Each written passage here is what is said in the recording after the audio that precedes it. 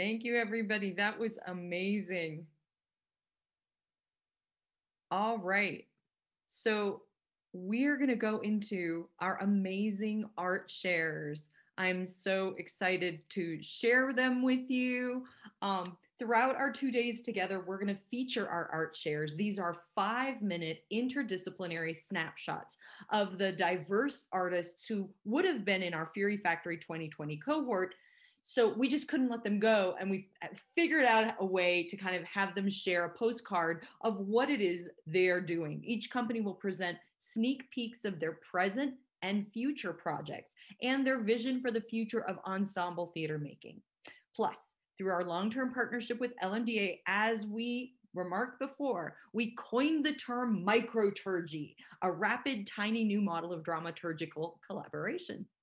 So, um, one microturg was matched with each artist and company acting as a listening ear or a fly on the wall or even a collaborative thought partner. And um, each art share will include a word cloud that's inspired by their engagement with the artist. So, look for them throughout the weekend. We're going to do our first art share right now. And I'm so, so honored and excited uh, to uh, introduce first Lucretia Berry of Berry and Company, um, who's uh, going to talk to us or bring us uh, some moment of Tubman or talk about where they are right now. Then we're going to have Tamiki Salinas from the Bellwether Project and Company. And that's going to be amazing, followed by Dialect and the Museum of Dead Words. And I, I'm just so grateful. Thank you so much. Let's see some art shares. Build it. Okay, I need my video maybe, or do are you? I can't start my video. Okay. You'll be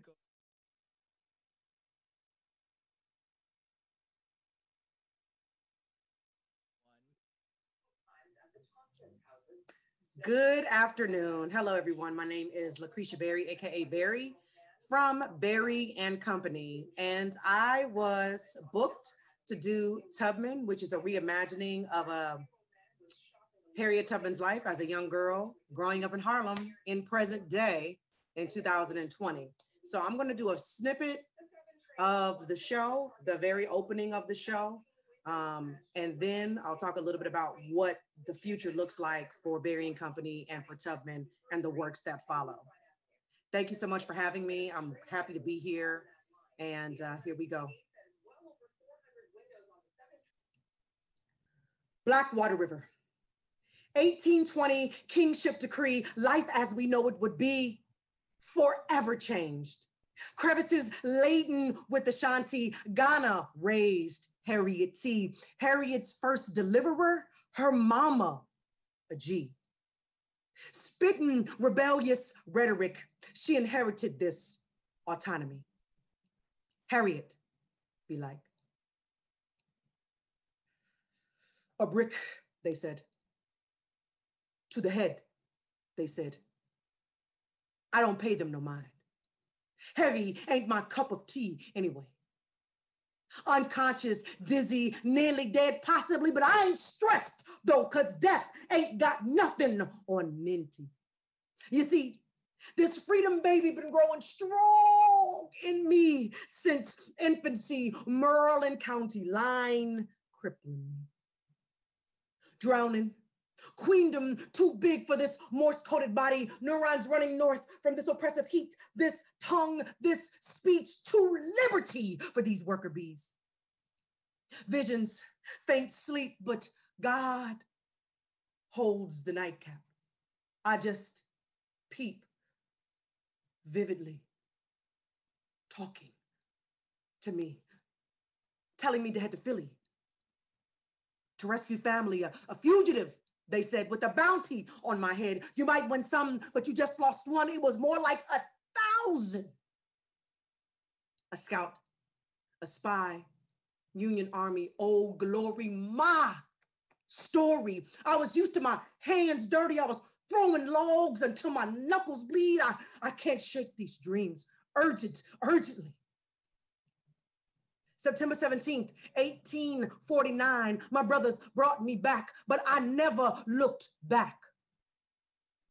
I was forward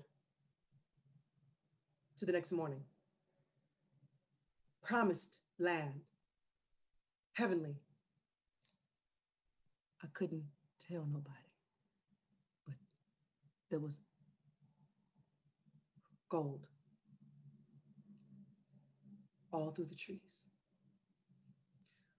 All black, everything. Freedom over everything.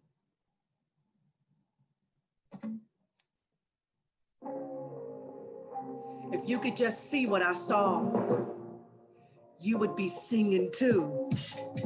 There was such a glory over everything.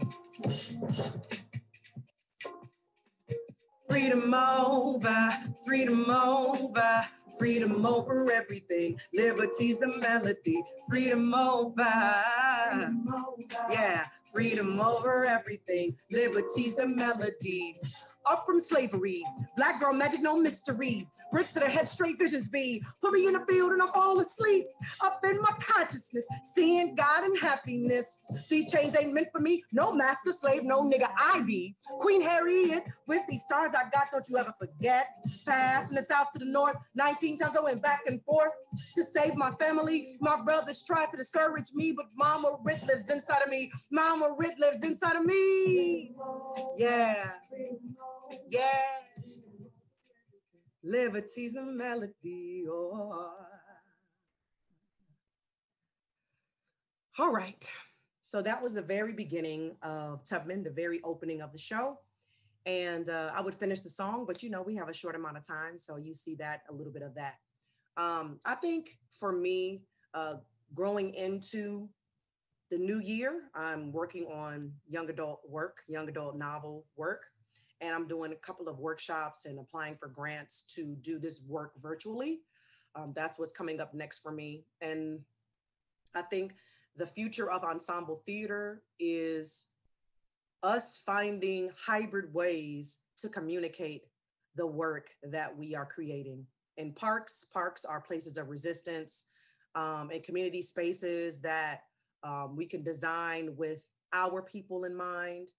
And I just think that the people that are th- thriving during this global pandemic should be the ones also providing the funding.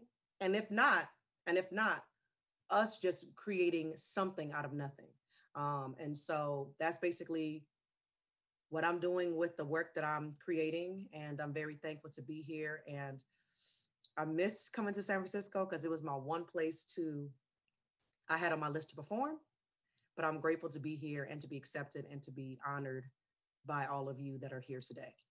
Thank you very much.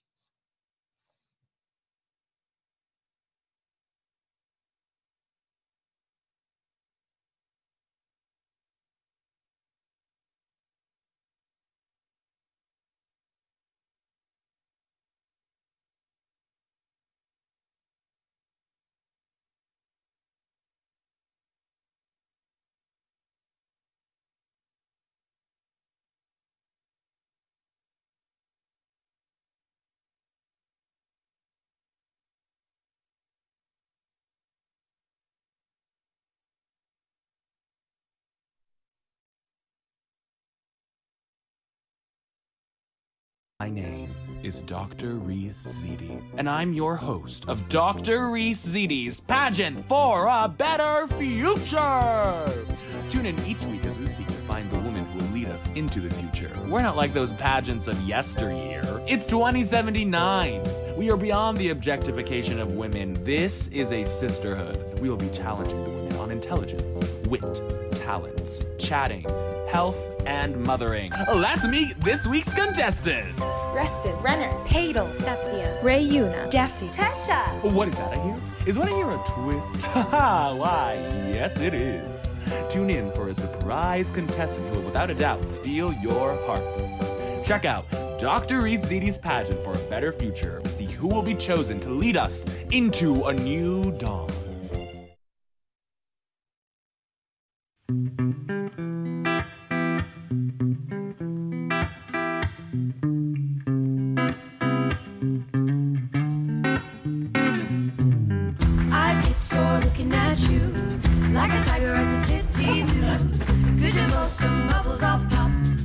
The hatch to the rooftop. Girl swimming in an empty pool. Fell like a wasted fool. Nothing beats the summertime.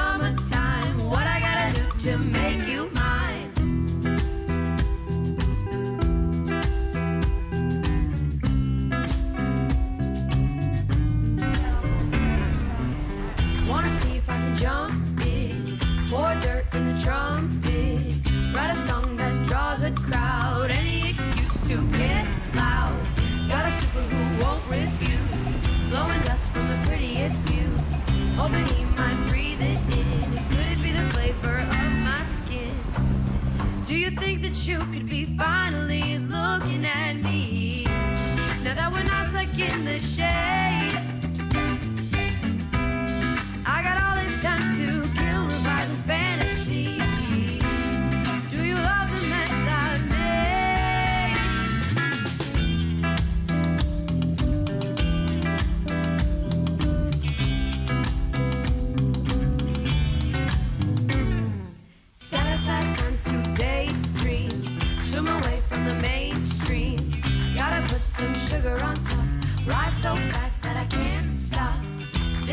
from the roof to school. Be honest, do I look cool? Sunglasses in the summertime. What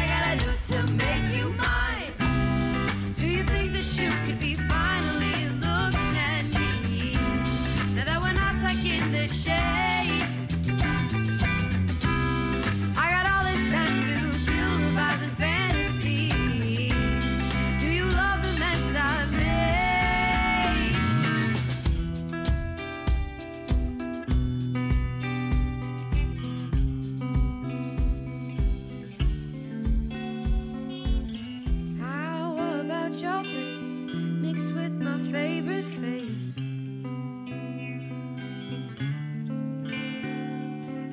So you can be flirtatious, but how about audacious?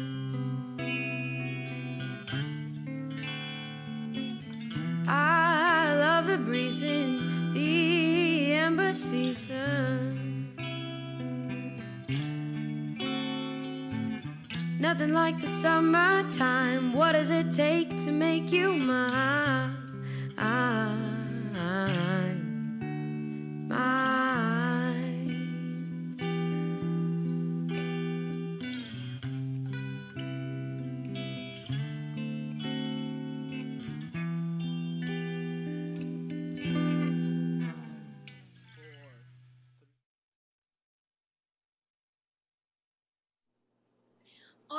Uh, Bellwether Project. What do you think should and or could be the future of ensemble theater? Go. Equitable. hmm Uh, decolonizing um, sort of like power structures of the theater. Creating a fun, messy space uh, where we can all be together. anti-hierarchical, breaking down hierarchy on, uh, whenever possible. different voices from different people writing creating acting all these different things Um, uh, fighting against erased history and unearthing untold stories. Lauren, did you have something? Instinctual.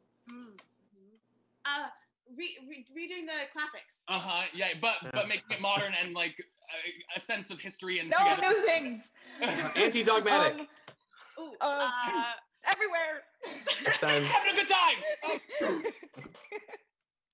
That's it.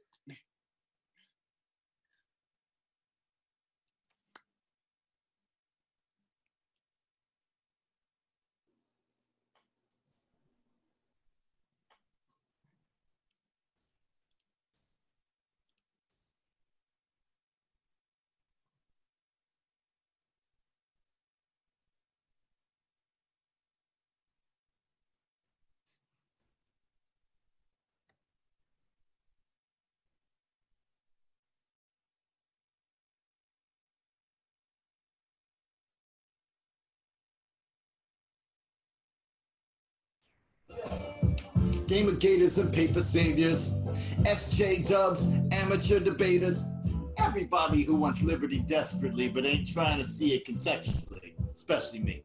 Most of us are the hero of our own tale. The road is tough, we face enemies and prevail. The conversation is competition, we don't bother with details. Those are for the jesters that are destined to fail. One thing I love is to fail and look stupid. One thing you love is to watch people fail and look stupid. There's a whole bunch of studies you could look up to prove it. You should thank folks for being brave enough to do it. And I don't mean me in particular, or even at all. I'm not here for your boos or applause. I'm just here to write, right, right, right, right, right. I don't even know how clocks work, y'all. It's gonna be okay. A broken clock is right twice a day. By this time tonight, another stupid jerk will be right, right? Welcome to the Museum of Dead Words, where my colleagues and I have spent the past four years identifying and cataloging words in the English language that have stopped working, died, failed us in our interminable quest for communication, acknowledgement, and empathy. I'm your tour guide, Dialect, and along with Pamela Capalid, Kristen Crouch, and Andrew J. Scoville, we were supposed to walk you through, walk with you through our findings and conclusions through visual art, visceral heart, and very good rhymes. We were going to the Bay. We were going to Birmingham, Colorado, plenty other places. But, you know, since we're here, let's have a little museum moment and talk about the average life cycle of Black slang. You can call it AAVE or Ebonics if you're 90s inclined like me in American discourse. And when I say American discourse, we mean when white society as a whole gets a hold of it. And just like uh, Jazz and Nokia, there are five steps we'll use uh, as a control the word the bomb, the phrase. So the first step is blackness, darkness, scary.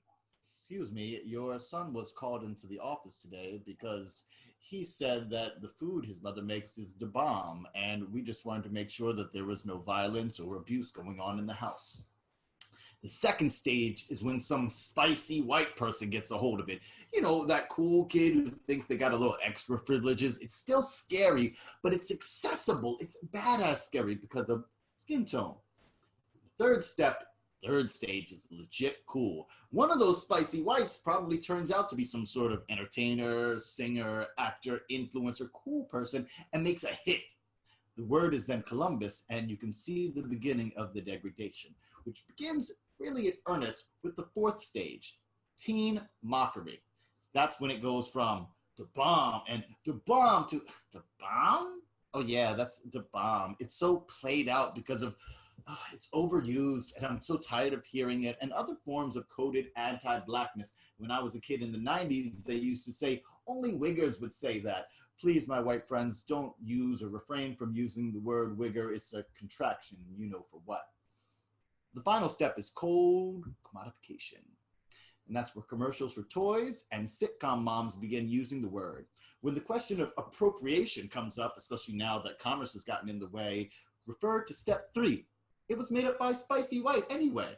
You've heard that when people talk about jive language or jazz language or hip hop slang or Twitter slang or meme slang or stan language.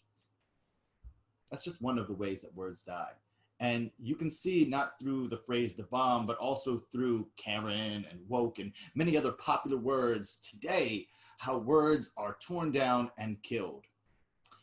In the future, the Museum of Dead Words is going to be an online experience. Starting September 7th and continuing for 11 weeks, we'll be exploring these words in ridiculous depth with help from amazing visual artists from all over the world. It's a free party every time, so please check out museumofdeadwords.com for the schedule and other details as for the future of ensemble theater, first of all, it's asynchronous, which is going to be better for all the ways that we process information anyway. But it's part of how art is more accessible now to consume and to produce. And a reminder that we are all artists and we are all making art all the time, using our imagination to paint a better world on a canvas or to start rumors about people that you hate or to find creative ways to hurt somebody without anyone noticing we are all always making art. The role of those of us who call ourselves artists, especially those of us who assemble ensembles, is to prove that art is best when the collaboration outweighs the competition, even when that statement sounds like a contradiction. Thanks, y'all.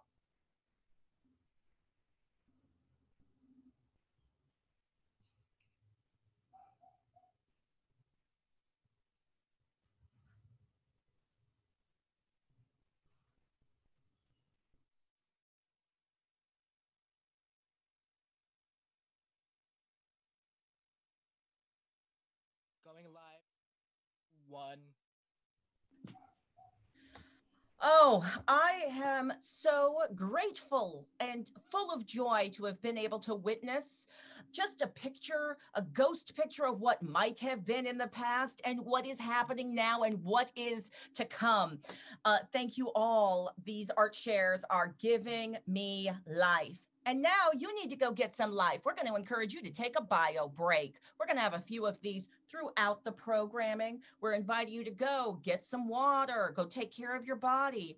We would like for all of our registered participants to join us. We are now going to be going into our anti racist action circles. For our BIPOC attendants, you are invited to join us in the Hopin sessions. We'll be starting at 11 o'clock sharp.